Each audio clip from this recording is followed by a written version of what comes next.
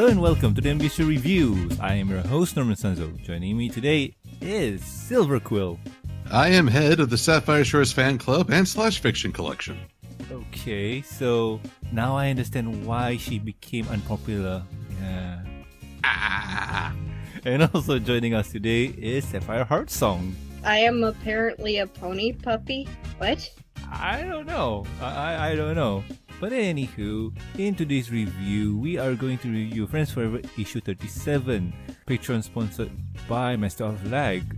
And in this issue, Rarity is forced to work together with the great and powerful Trixie to make Sapphire Shores next concert a success. Will they iron things out? Will they succeed? Will they fail?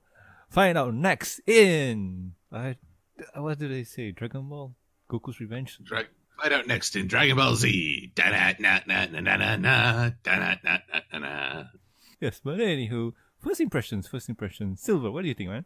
Well, this is a mixed bag for me. In some ways, it's a follow up to my favorite of the uh, Friends Forever, which I believe was number 16, the Rarity and Babs comic. Mm-hmm, mm-hmm. But Rarity and Trixie is a more awkward dynamic, mostly because all the issue lies on Rarity's side. And it, it's funny. There's one reference to the fact that Trixie saved Rarity's life, or at least helped save the day.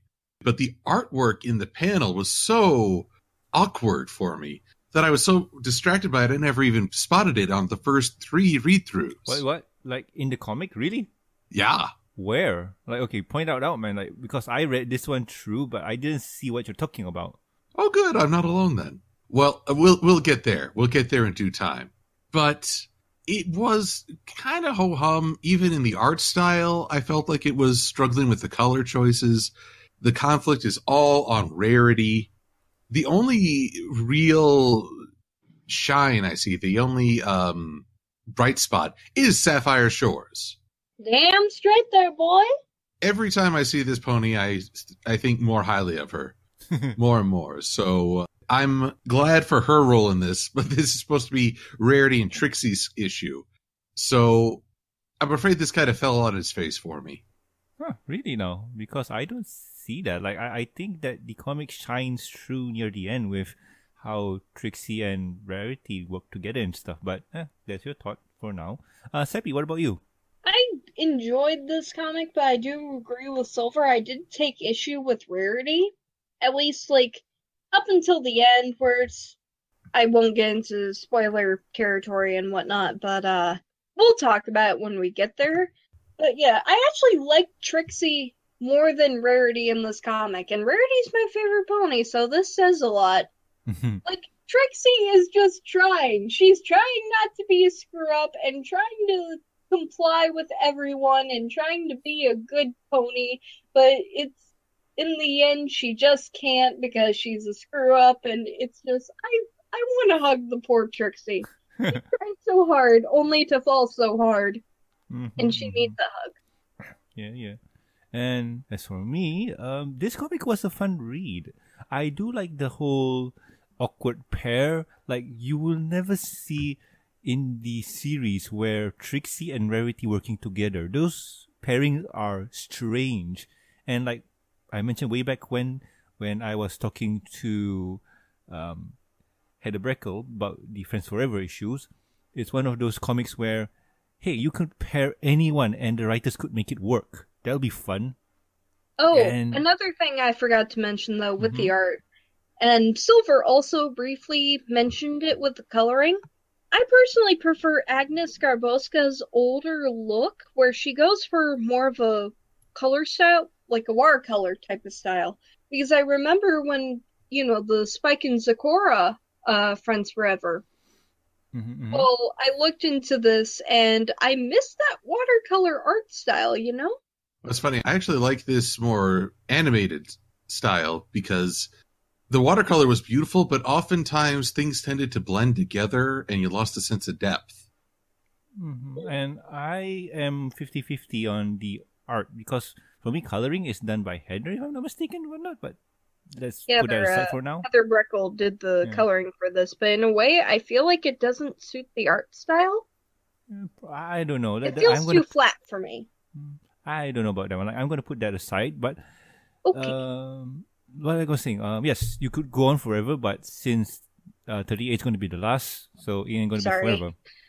No problem, no problem. So I do like the pairing for this one. It's an odd couple kind of dynamic, but the story here is that Rarity is in the wrong.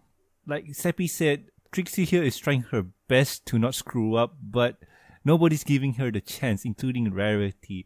Even though there's a big foreshadowing that Sweetie Belle mentioned that we will talk about when we review it, and I I just don't know. Uh, And if I want to go into the art style, I find this one a bit strange. Like, how do I put this? It comes to the point where I'm almost comparing it to Jay Fosgitt style. Oh, Yeah, I did mention like the first thing that put me off at first was like a bit of the preview of the art that you see like when you first entered the comic. And looking hmm. at like Sapphire Shore's neck and it just doesn't look good. Yeah, and it's just the thing. I, I remember liking Agnes's work, but somehow in this issue, it I hate to use the word rush, but it felt rush. At the same time, too, most of the ponies here do the things that Fosgitt likes to do. Ponies in human poses. I feel like it works more with Trixie because she's been shown more to uh stand up on her hind feet. If that makes true, sense. True, but at the same time too, like in page one, the conductor is in a very awkward pose, falling down.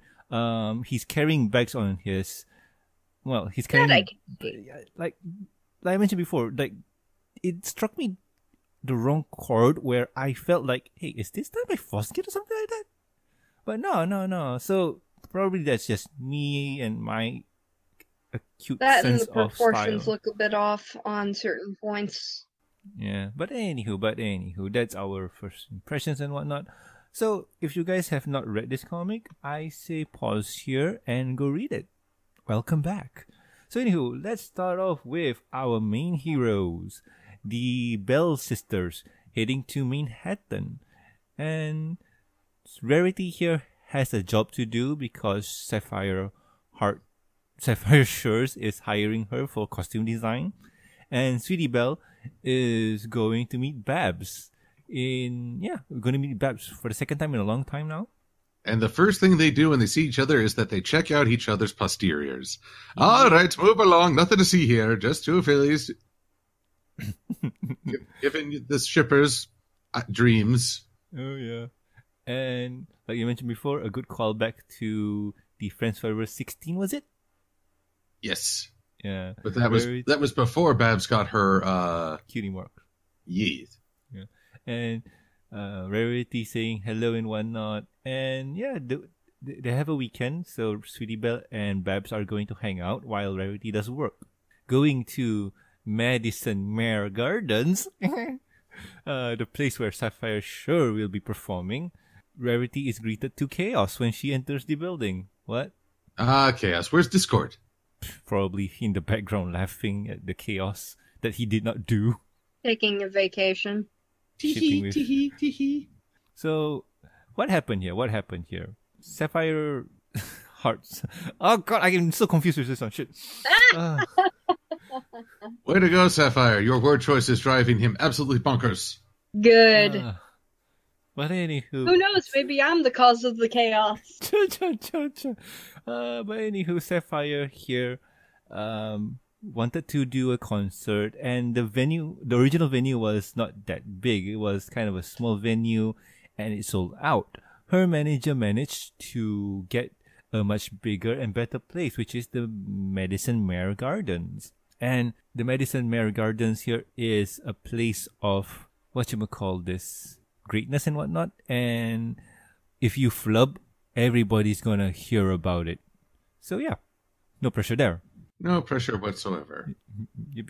And with the last minute changes, the original concept for the stage show was not gonna fit in with the stage of the Madison Mare Gardens. So they had to hire last minute backup dancers, stage hands, and costume design and so on. So everything has to be escalated to let's just say that push up to 11 and they're not ready for it. So Rarity here has to push her designs and so on. Quick question. Who let the number one fan stalker into the production? See, that's how terrible everything is. uh, but anywho, continuing on, Sapphire says that Rarity, you need to bring your game up to 11 and I also hired a pyrotechnics expert to help you with that department. And Rarity here first says that, hey, I'm excited to work with this person until she discovers it's Trixie. Yes, Trixie. It was eating all the sandwiches. Yes. Who could blame her? They're probably friggin' delicious and made with caviar. and with that, Rarity says, nope, I will not work with that hussy. She Hussy. is. She Since is, when is Trixie a hussy? I don't know, I'm just saying words. But anywho, Rarity says all the bad things that Trixie has done, like how she humiliated her in public and how she trapped everyone in a big giant glass dome in Ponyville. And Trixie owns up to this fact and she's changing. And she even saved Equestria, so doesn't that count for something? Well, here's the thing. Two two things in this part. One, actually three things. One, look at the backgrounds in all these panels. The the violet background is going to be predominant throughout the rest of this comic. It tends to swallow up a lot of Rarity's details. Mhm. Mm-hmm. And so it, it, it's not a great color mix in my eyes. Secondly, when Trixie says that's not me anymore, she's trying to hold her hat over her heart, but it's a little low and starts to look kind of Freudian. Oh my god, no. Yes. Yep. And and three, Norman, you were asking about the panel where Trixie says, I helped save the day, but the art was so awkward that it completely distracted me on three read throughs. Okay, well, which one was that? It's the first panel on the page after Trixie says, That's not me anymore, with her hat in the wrong her hat really is in the wrong place. Her Uh, head looks bigger than Sapphire Shores one. Yeah. So wait, Two. this is the one that you mentioned, Silver. Like, uh, Yeah. I made friends with Starlight Glimmer and even helped. Sa- so this is the like, hi. That- That is the How only does that not distract you, Norman? that is the only reference she makes to towards to where and back again. yeah, I know. Like, I, I, I even had to go check the calendar dates to make sure that the timing was right. And yes, it was right. Still, though, holy mother, just that panel alone is very awkward and not right. Yeah, that I mentioned before, like reading this part here, I had to stop, go to the wiki, and double check the dates, and also I had to think about, hey, did, No, I'm talking about the art, oh not yeah, the I'm- uh, detail that they mention. Yeah, and here's the thing, like I had to stop for a bit and think about did Jay Fosgitt do this? Nah, Jay Fosgitt's art style is a bit different than this. And I was tempted to go look back at Agnes's work. I doubt it's like this. Like this is kind of a rush job in terms of art style. Like, ah man. But anywho, but anywho. Rarity says she'll give Trixie a chance and Sapphire sure says, Okay, do your best. Like I'm hoping for the best because if not, you guys are gonna get it yeah, you guys are gonna get it. And with that, Trixie tries to help Rarity, and Rarity brushes her off, not giving a chance to share some ideas or input. And I can see why you guys here don't like this. I'm in the same boat too. Like, if you're supposed to work together, work together. Don't do this. But no, we, we, we get this. So, can't do much. Still, though, you gotta admit, though, throughout this comic, or at least during this part, Rarity's kind of a snooty little. Oh my.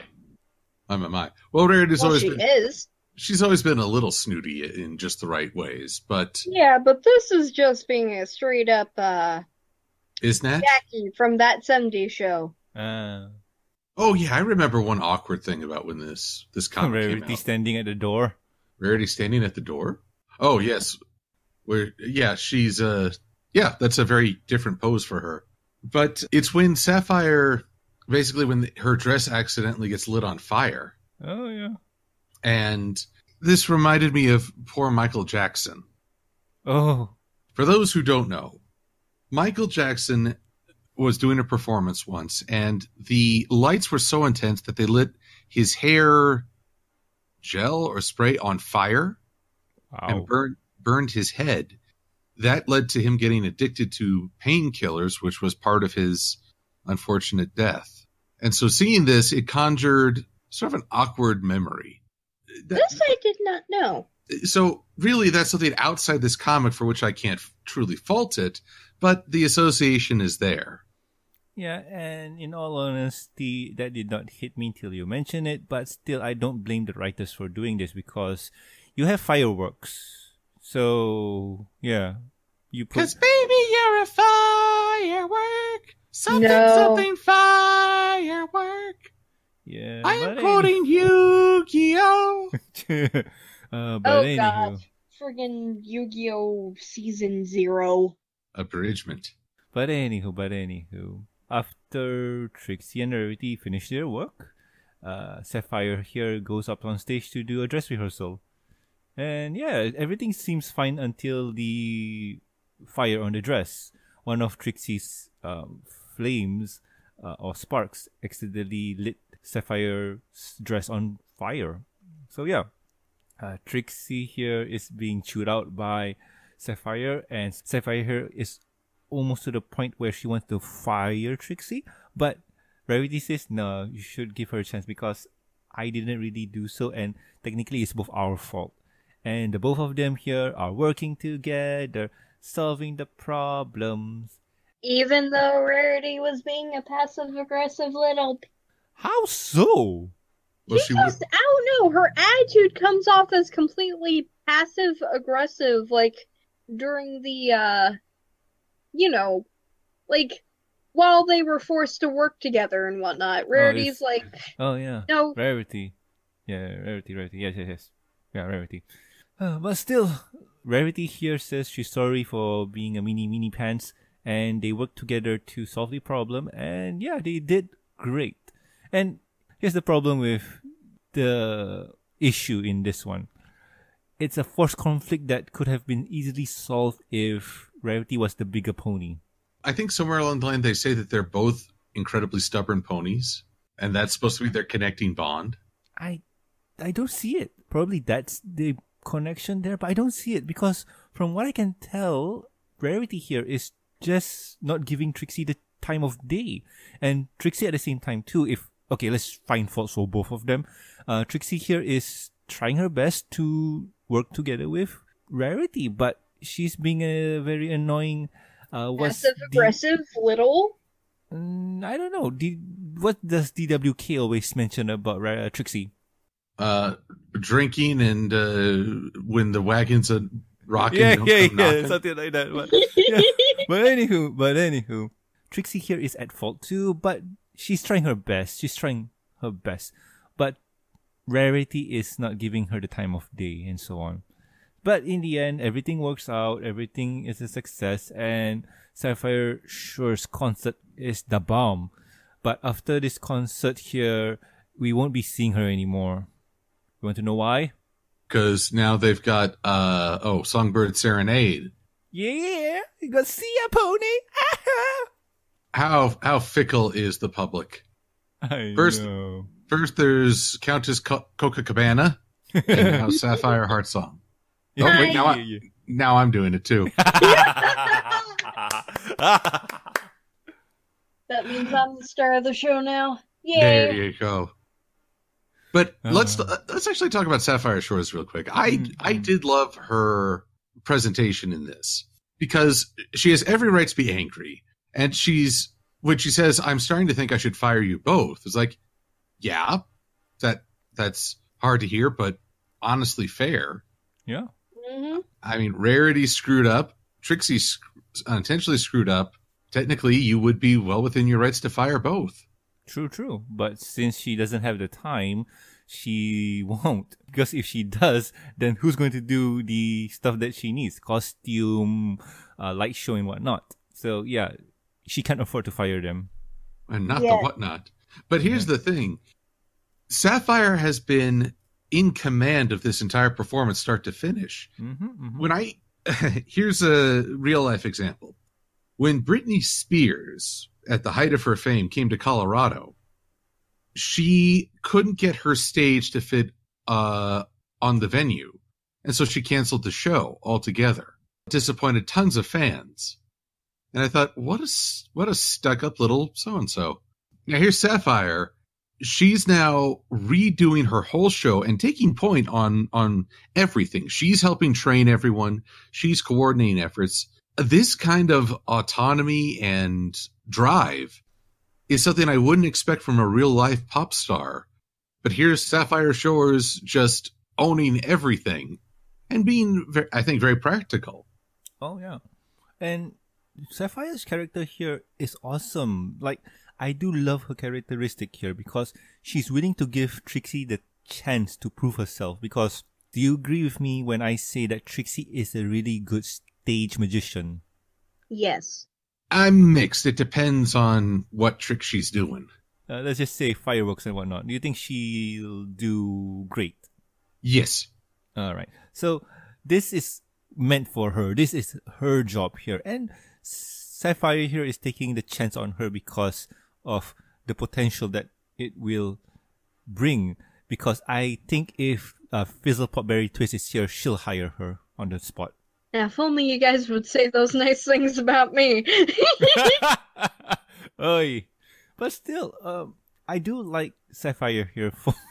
Sorry, uh, I do like Sapphire here for giving the chance on Trixie and saying that you should just work together. Like you guys are great. I trust in you both. Do a good job.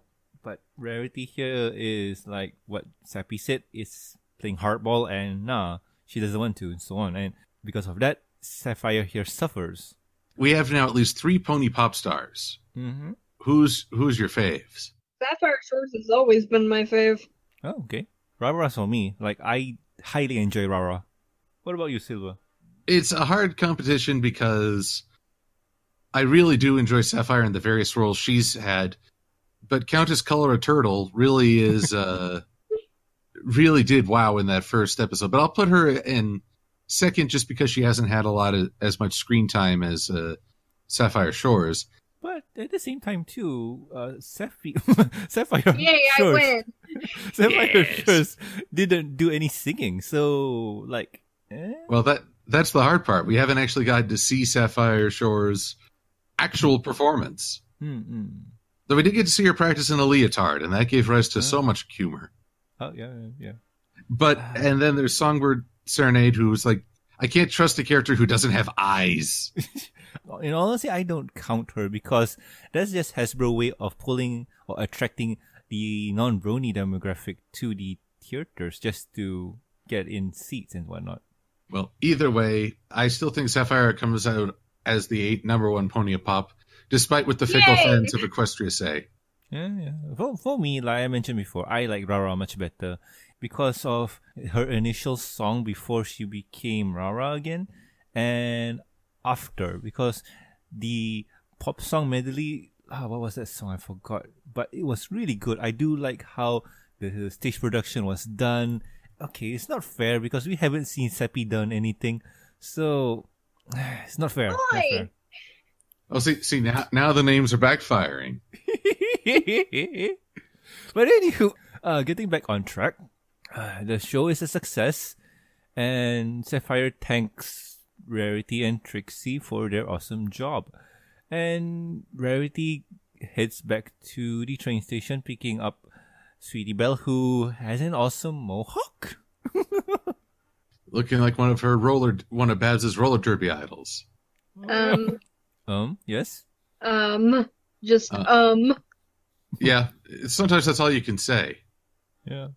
And with that, episode ends. So we we talk a lot about this one. We had a lot of opinions to put on this one, and yeah, this comic is a fun read. If you guys don't mind humoring me on this, um, what do you guys think of the story writing and whatnot? Is it okay? It, th- does it? How does it feel for you guys? It's a bit cliched. Like, there's not really much say on it. I feel like I've seen this story before. I just get where on the top of my head. to me, I felt that it could have been done better because the writing here, okay, expectations and whatnot, I have dulled them down because I'm reading a pony comic, not because it's terrible, because I know what to expect after reading 36 of these comics. So I know what to expect, or I've tempered my expectations a bit. I felt like this one could have been better. I'm inclined to agree. I, I, I didn't really Yeah. enjoy the story because it's basically entirely based on Rarity being the unreasonable one. And Friends Forever works best when it's it's showing both characters in their strengths and weaknesses all together. What we what we have here is simply Rarity's weakness, her pride, and that's meant to carry the entire conflict. And as such, I find it's just not as enjoyable a story like I say, mostly the preponderance of purple really takes away visually from the story. And so I don't think I enjoyed it as much as you guys. I think I, given the choice, I'd give this one a pass. Hmm, alrighty then. alrighty Eh, then. yeah, I can see that. I mean, there are a few elements that I enjoyed, but other than that, yeah. I mean, I just read the comic this morning. I just read it today too, and I do enjoy this comic, but I- I don't know. Like it felt like it could have been done better. And if I were to repeat myself for the past few comics, it's gonna be the same uh, whole thing again. Like, oh, it could have been done better. It could have been done better. Blah blah blah, and so on. But the story aside, it was okay. Could have been better, but it's okay. The arts. What do you guys think? Because to me, the art for this one is not that great. No, the art is terrible. I wouldn't say terrible. There are there are certain panels in particular where proportions are off, and sometimes Okay, sometimes so there are a lot of things that could be improved upon. How about that? Yeah, Yeah. but there there are the others thing. that look just fine. I mean, I like that ending, Sweetie Mohawk, yeah, but here's the thing. Sweetie Hawk. We're, we're talking about Agnes here, and from what I've seen, Agnes here does some good works. Like I don't know why, I don't know how, but this art specifically, like this art here, just bothers me. Like I don't know why, but this issue Well, the here. proportions are off. The coloring is flat, like not in the good way. Like you can do flat coloring and still do a good job, but in this case, it's not well done. And there are a lot of awkward poses, especially when it takes a book or it takes a chapter off of uh, who what's his name, Jay Fosgitt, where they tried to do the human poses, but it doesn't work in their case. Yeah, and here's the thing. Um, we recently reviewed issue thirty-four, and that one was done by her too. And if I remember right, I had a lot of fun with that one. To each their own. well, so every every artist has an off day. Yeah, and I'm guessing this is one of her off days then, because I I don't know what to say, man. I really don't know what to say. Well, If I, ours has it rough. They have it rough, all right. what can I say? This is the penultimate issue of Friends Forever, and thankfully we have another issue coming up that I think we'll find more enjoyable. Oh yeah, yeah. Oh yeah, that one. Uh that one. Uh gonna enjoy that one highly. But anywho, um what can we say about this one? Um we uh, we gave our thoughts on the arts and writing and yeah. So final thoughts, final thoughts. Silva? This wasn't the final Thoughts? Yeah, I thought this was our final thoughts, but you know, eh, it's not a story I enjoy, but it does reinforce my appreciation for Sapphire Shores and how she is not nearly so petty or selfish as the pop stars that I come to view in our modern culture. Oh yeah, Hmm. Alright, alright. And Seppi? same as him. Just to shorten it down. Alrighty then, alrighty then. And as for me, I enjoy this comic. Wouldn't recommend it. I say if you want to read it, go buy the omnibus in a set so you still have other good comics within it. If you don't mind the art, like I don't know why, but in all honesty, Agnes's work is not this bad. Like if I remember right, some of her works are pretty awesome. I guess like Silver said, this is one of her off days. Can't be helped. So, Silver, um, what do we have planned for next week? Well, it's back to the Changeling Kingdom for us as we discover the most awesome of all changelings, Pharynx, brother of Thorax. And so we will be uh, reviewing To Change a Changeling, starring, of all things, the great and powerful Trixie and Starlight Glimmer. Yay! Yay! Much funds will be had. And we will discover Sapphire Heartsong's secret ship. Ooh my. What ship? my. Well, we'll find out. I don't have any ships. Yes, what, you, you mean do. Starlight and Trixie? That I ship. Oh no, no. You- You folks don't know this, but while we were talking about Young episode, No! Sappy, No, I made a mistake. I'm sorry. Silver, silver, silver. You don't have to explain it because that will be an exclusive to the Patreons. Because Oh. if you are a Patreon supporter, you'll get to listen to what Sappy said. They're exploiting me for money. Don't listen them. oh, that's the name of the business. Sorry. so anywho, yeah. Oh, talking about the Patreons, if you would like to listen to what Seppi said, you can do so at patreon.com or ko-fi.com. With every support, you'll get early access to the review and discussion podcast exclusive, like what Seppi just said, and deleted contents, like Seppi said. I hate you people. And huge thank you from me. Talking about the thank yous, I'd like to thank Lurker, Catlin, Dragatoria, Starstream, myself, like Amy, Mark, and also Charles. Thank you so much, guys, for the awesome support. So, anywho, um, I demand half of your patronage next month because of this Norman. nope. But If you're going to exploit me for money, I may as well get some. anywho, I'm Norman Sanzo. I'm Silver Quill, and just because of name similarity, I will now ship Sapphire Shores with Sapphire Heartsong. Ooh And I'm la. pissed because I'm not getting any money for exploitation. Yes, Sapsploitation. Anywho, we'll see you guys next week with another fun review. See ya. I ship it. I'm salty.